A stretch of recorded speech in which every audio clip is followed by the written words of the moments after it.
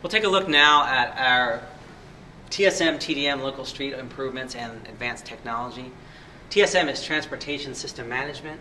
TDM is travel demand management. These are all supporting strategies that will address our purpose and need elements in specific locations and can be woven into larger alternatives as well. So TSM is designed to maximize the efficiency of the exist- existing transportation systems. Could be through transit service, improving transit traffic signals, or information for travelers. Travel demand management is designed to reduce the demand, particularly in the peak periods, by shifting the traffic to off peak, encouraging carpooling and ride sharing, or eliminating trips through means like telecommuting.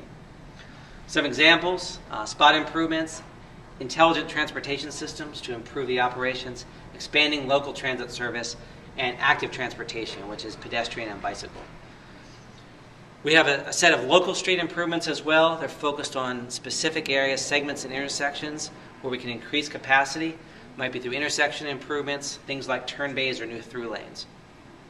And finally, our alternatives look at advanced technology examples like guided electric vehicles or automated vehicle systems. A whole range of technologies, again, uh, intended to improve the efficiency of both the vehicles on the road and the transportation system.